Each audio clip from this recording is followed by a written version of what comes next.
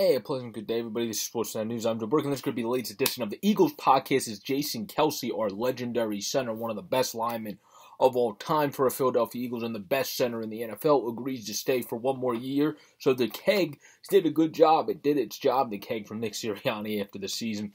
As for one year, 14 million bucks, Jason Kelce decides to stay around to protect Jalen Hurts, or potentially Deshaun Watson, or potentially any other quarterback the Eagles could look to get with their picks going forward.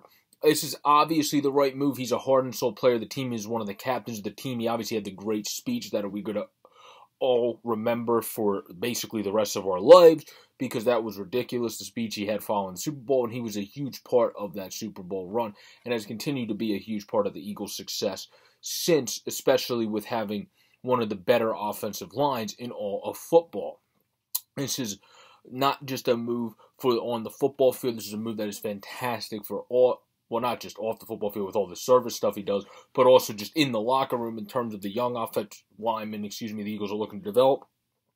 Who better than one of the best guys that is definitely going into the Hall of Fame post his career and is clearly going into the Eagles Hall of Fame, but you're definitely being in Canton with how good of a center he has been in his career and he has a Super Bowl as well.